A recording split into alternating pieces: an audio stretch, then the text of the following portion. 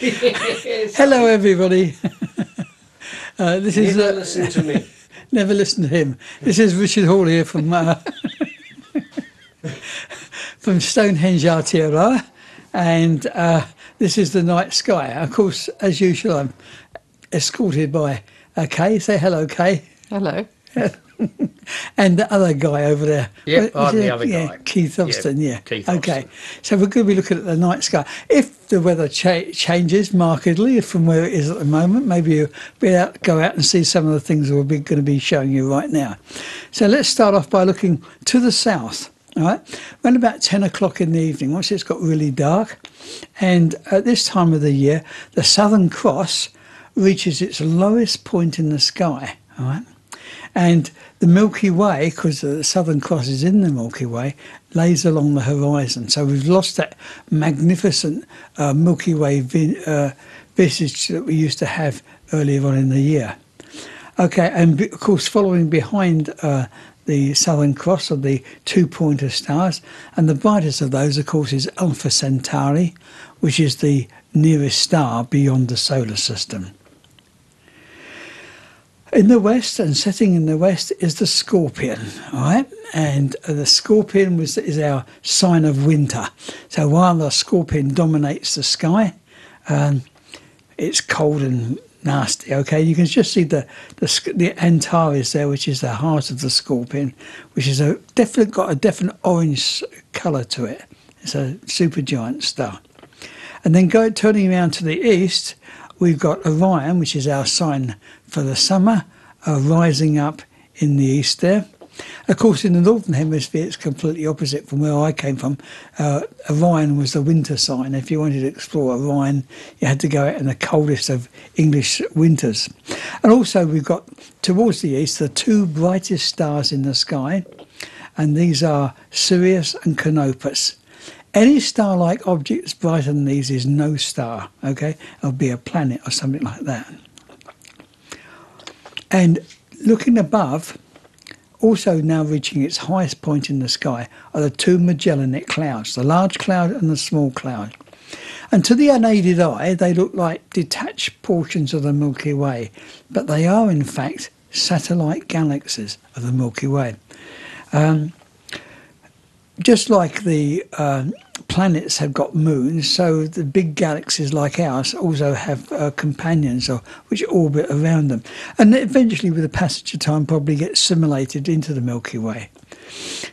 Okay, so the largest of the Large Magellanic Cloud, uh, its distance is 158,000 light years. All right, so it tells you some distance away, and it contains something in the region of 30 billion stars. Now, to put this on scale, uh, in our Milky Way galaxy, we've got something like oh, well over 200 a billion stars in the in the Milky Way galaxy, and it's going across a large area of it's 32,000 light years across. And so it's a it's a spectacular object that can be explored even just with a pair of binoculars. All right, so this is a satellite galaxy. Yes, it's um, quite a spectacular view through a small telescope.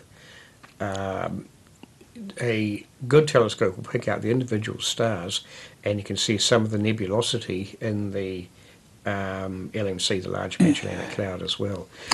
Well, for those of you looking at this on TV, you can see down to the bottom left hand corner of the Magellanic Cloud, there's a sort of pinkish bright spot region. That is actually what we call the Tarantula Nebula. Yes. There it is there.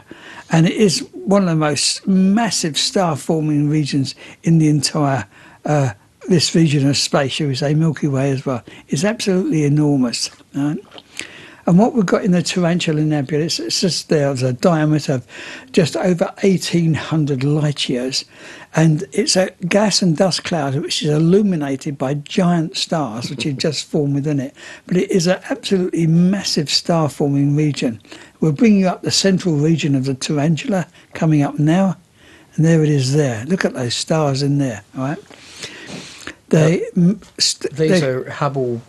Are these oh, Hubble Oh, the- telescope? oh, you're not going to see it like that, yeah. Exactly. Unless you've got used to the Hubble telescope. You've got a mixture of, of images there, though. They're not all in visible light, like the Hubble. Some of them are in mm. infrared and things. Mm, yeah. Yeah. Most of the ones I use, I will always try to get visual things Yeah, that we can see. Yeah, but that's why they look different. Yeah. Sometimes you're looking at the same bit, but it looks very different mm. because they're looking at a different light Yeah.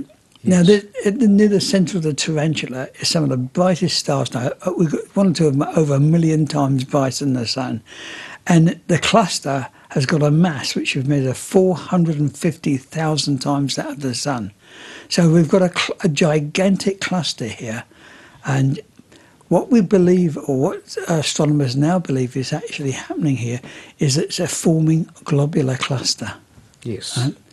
That's what we think is happening. Now we'll have a look at a, a, a globular. Most of the globular clusters we can see in our galaxy are ancient. They are formed at the very early stages of the formation of our Milky Way galaxy, and we'll be showing you one a little bit later on. Now, Okay. what, what is a globular cluster, Richard? Tell us what uh, briefly. What is what is that?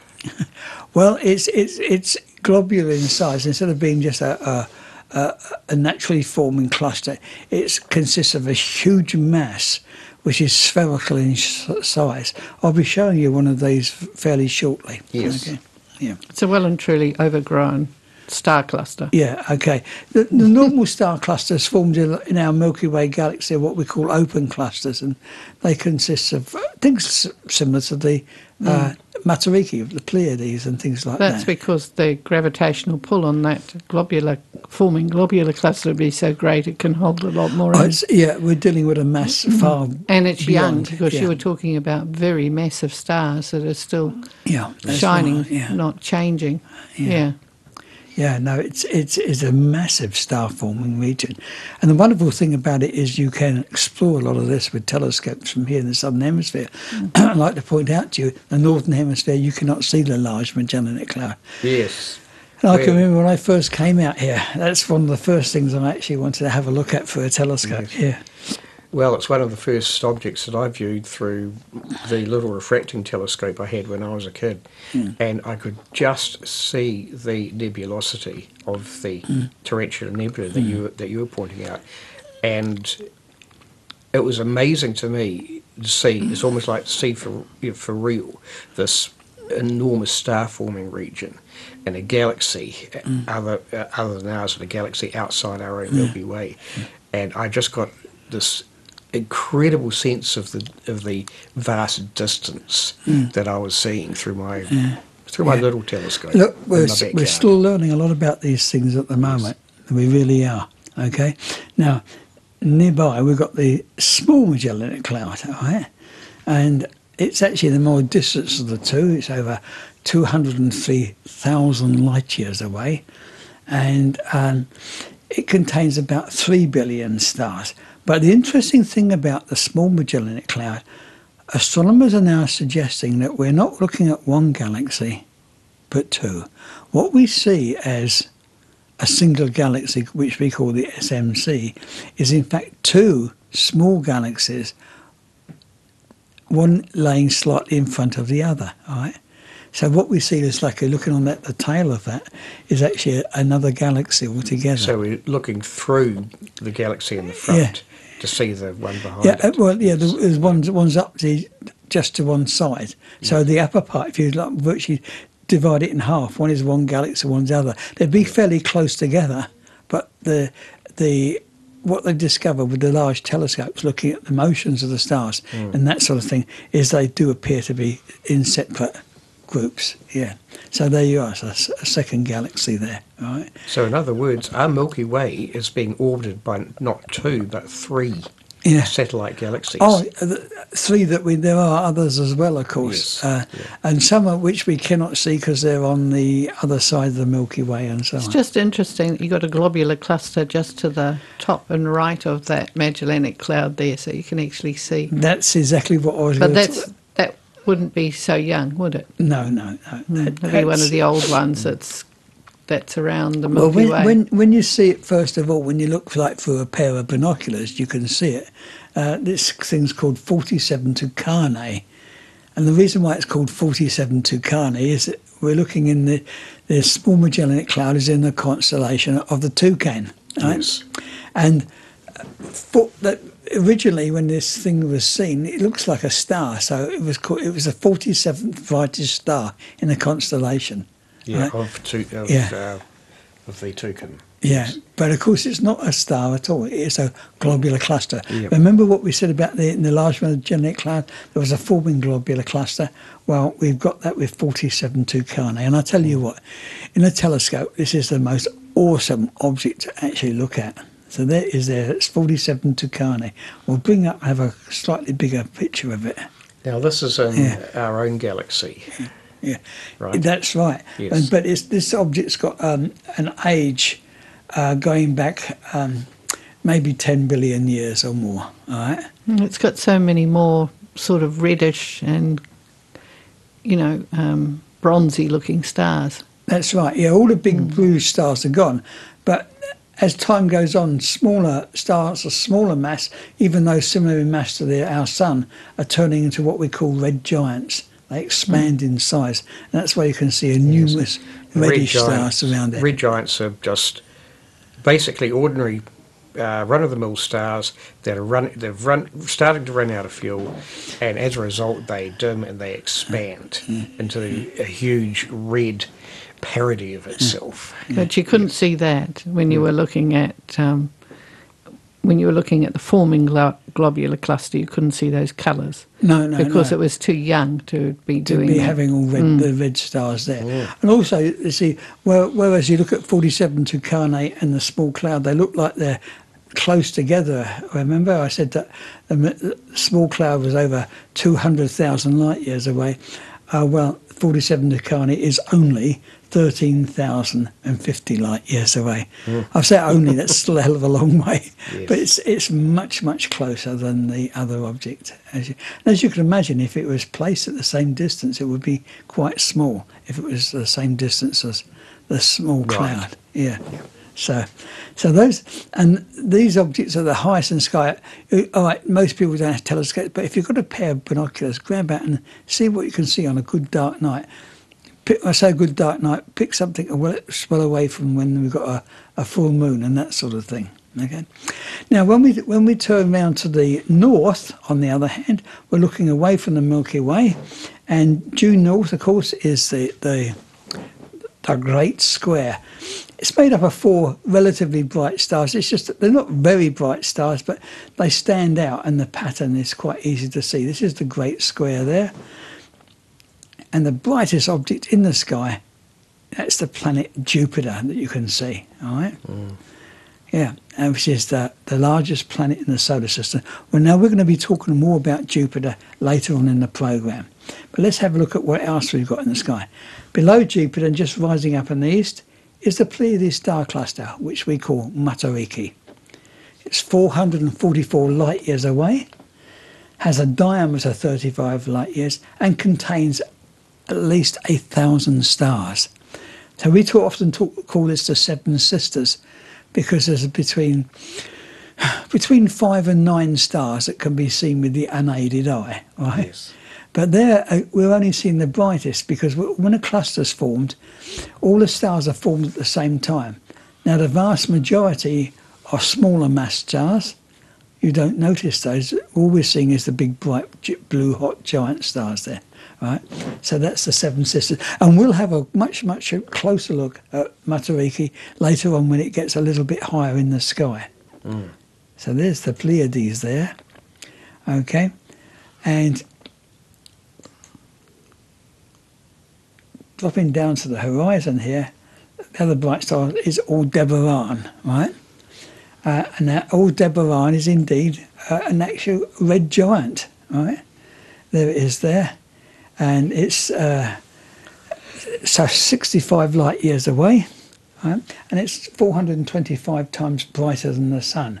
But its mass is only 1.7 times that of the sun. Now, normally a star of that brightness would be nowhere near this luminosity, and it's one of these stars that once a time, one upon a time was a white star, and it's now evolved into a red giant. There. Yes, that's what I was talking about earlier on. It's an ordinary run-of-the-mill star, and it's starting to run out of fuel. And when a star runs out of fuel, that's what it does. It becomes Well, as a contrast, yes. yeah, looking across the others towards the west, we see Altair. Now, Al- Altair, uh, on the other hand, it, its its distance is just under 17 light years, and um, it's got a mass of 1.8, that of the Sun, which is very, very similar to Aldebaran, right? But its diameter is only 1.8 times that of the Sun, and it's only just under 11 times brighter, right? And it's it's got a an oblate, sh- blo- oblate, oblate shape because A it's football spi- shape. yeah, it's spinning so rapidly, it's almost like a a disc. But then you look at Aldebaran, which is on the screen as well, right? And its diameter is 44 times out of the sun. Now, but it's got roughly the same mass. So once upon a time, not too long ago, Aldebaran was very similar to Altair and it's now turned into this red giant. Now, looking at the two pictures, of course, which are artist impressions, you can't judge the sizes of the stars from that. Remember, the diameter of of uh, Altair is 1.8, while the diameter of uh, Aldebaran is 44. Okay, so yeah, so, but that's what Alt, uh, Altair is going to turn into. Also, notice that Altair is a lot closer than that. And so when it does turn in red giant, we'll certainly notice it to become one of the brightest stars in the sky. Right? So there's the big bright stars up there. And down near the horizon, right, we've got one of the most famous objects in the sky. You can see it with the unaided eye, but most people will need a pair of binoculars. It's just beneath the Great Square. That's M31, the Great Galaxy and Andromeda, right? And there it is. Its distance is two and a half million light years, right? And it's a galaxy. It's some, a little bit bigger than our galaxy. Its diameter is 220,000 light years, and it contains a trillion stars, right? So that's M31. And nearby, and you only see this with binoculars, is M33. Right? And that contains the great galaxy in Triangulum, right? Which is a little bit more distant, but smaller. It's smaller than our Milky Way galaxy, with a diameter of 60,000 light years. But it still contains 50 billion stars, right? And these three, the, these two galaxies, along with the Milky Way, make up the three big galaxies of what we call the local group. They're like a, we're all in the same cluster, as it Yes. were, in the, in the galaxy. There's, there's hundreds of other smaller galaxies like the LMC and so on, right? but they're not those. These are the big, big galaxies we those those are the three big ones. So the Milky Way, Andromeda, and uh, or M31 and M33. Yeah, yeah. Yes. And it's, they're called M31 and M33 because it's named after uh, astronomer Messier, and it's in his catalogue of nebulous objects in the sky. And this one was number 31, and number other one was number 33. In his Wasn't list. the poor fellow looking for comets, and these were marked as not comets? That's right. It was annoying. He was So looking he, for so he wouldn't get confused.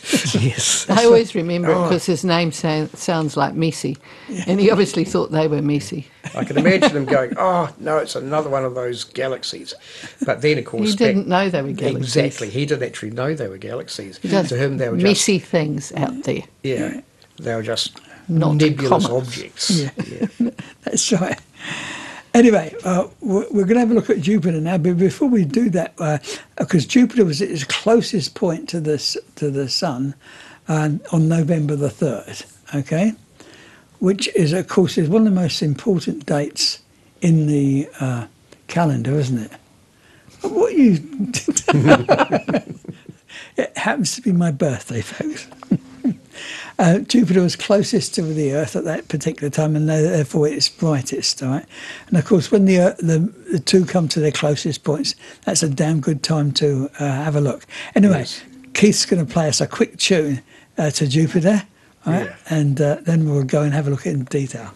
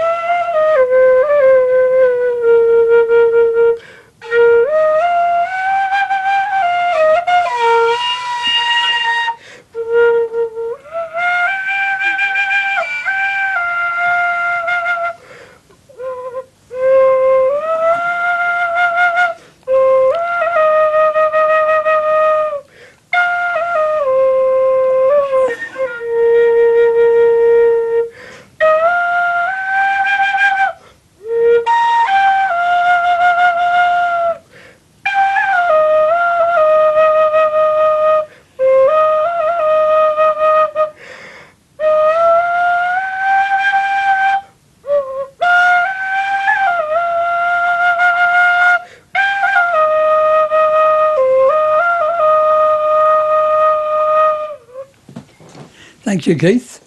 Right, now back to Jupiter.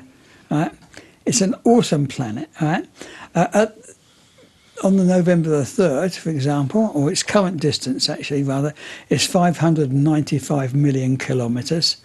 Um, that sounds a long, long, great distance, but it's very small compared with the stars. Uh, it's actually measured in time is in in is 33 light minutes. So when you see Jupiter, especially for a telescope, you're seeing it as it was half an hour ago. Right?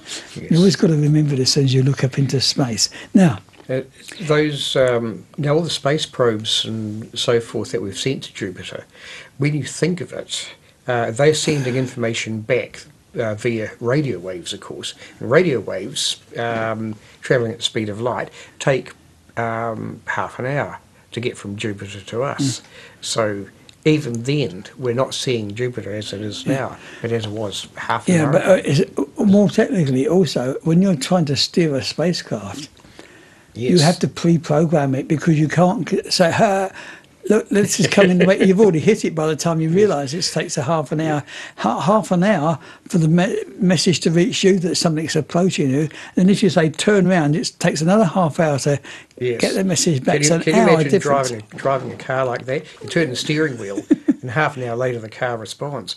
And uh, so this is why the spacecraft have to be somewhat Yeah. uh, autonomous and able to make their own decisions. That's Yes. right, yeah.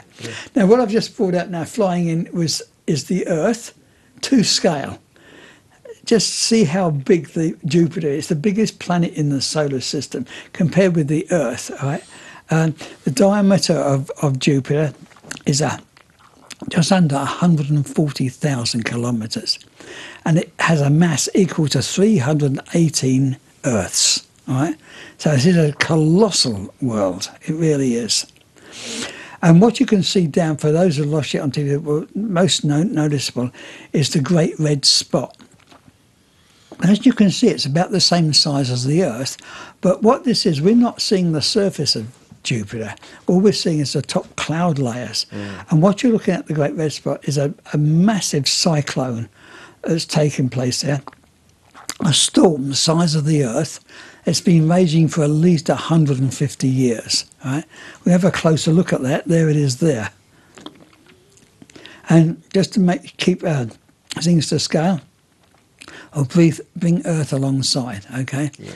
So, yeah, and, and indeed, if viewed through a telescope, you see that the features on the the planet are slowly changing. Of course, what we're seeing is changes in cloud layers and so on. Now, have a, having a closer look at those bands that we can see, all right, what we do know is the brown bands that you can see on are higher clouds, all right, they're much higher. Mm. The white ones, you're, you're looking deeper down, maybe several hundred kilometres deeper down into the surface of Jupiter. Well, if you were to take a journey into Jupiter down through those clouds, all right, eventually it would get darker and darker as you went down. So let's imagine it was travelling down through the clouds. And incidentally, there's continuous, as you can imagine, continuous storms. Remember, Jupiter rotates on its axis in about 10 hours. Yes. That's why it's got that flattened shape. And the, the turbulence in the clouds is absolutely enormous. So great power of, of uh, lightning strikes. Then, as you go down beneath the clouds, and you go into total darkness, and eventually, as you go down, you will reach an, reach an ocean, but not an ocean of water. This is an ocean of liquid hydrogen and methane and so on. right? Yes. And by that time, uh, incidentally, the pressure is so great that no known solid can exist. And what would happen is your little spacecraft will crumple away. right? So this is hydrogen methane that has been rendered liquid not by cold temperature, but by the tremendous pressure mm. of the outer layers of Jupiter. Well, indeed. I mean, the outer layers of Jupiter, are, you know, 100 plus degrees below zero. But as you go in, it gets hotter and hotter and hotter. And by the time you get to this ocean, it'll be Yes. quite warm down there. But as you say, that is just due to the You're pressure. showing a lightning strike there. Why doesn't the methane explode? There's no oxygen. No oxygen. Well, there we are. Because everybody's going to ask. I mean, methane's highly explosive. But it's right. You've got to have oxygen. You know, it's, Hydrogen is too, because we all know the Hindenburg got into trouble. That's right. Yeah. Yeah. Yeah. Okay. So there's now. We now know that Jupiter has got at least 95 moons. All right. Now, most of these moons are little fellows, uh, like this thing here, uh, like asteroids. And in fact, Psyche, which we're just showing you on She's TV, got a couple of it- it's black not- eyes. It's not one of the moons. It's actually an asteroid. But I'm just putting It's a this up. captured asteroid. Yeah. Yes. I'm, I'm showing you what, what what these smaller moons look like. Right? So mm. we've got these 95 moons, but three of them are on the scale of planets, terrestrial planets. All right, and these are called the Galilean moons because they were discovered by Galileo when he turned his telescope towards them. Okay, and but. And we always used to think because they're moons, they'd be a little bit like the our moon. But tell you what, folks, the most extraordinary worlds, and we don't have much time left. We can always have a look at these later uh, at the next program. But each of these worlds is absolutely magnificent in weird and wonderful. Here we see them here. Okay, so let's start off by looking at first of all Io. Right? This is the most volcanically active world in the solar system. There's always at least three volcanoes erupting at any one time, and its entire surface is res- resurfaced in a matter of centuries. Mm. Right? As a result, the, Yeah. the, the, the surface of Io always looks like a pizza that's been um, Oh, uh, left out for, for three Yeah. weeks. It's absolutely right. You wouldn't want to- It has a strange look to it. you wouldn't last very long on that surface of that world. Okay, and next after we'll move it along fast. Next beyond that is Europa, and that's the dead opposite. This is a world of ice. So what we're looking at is a world covered in ice.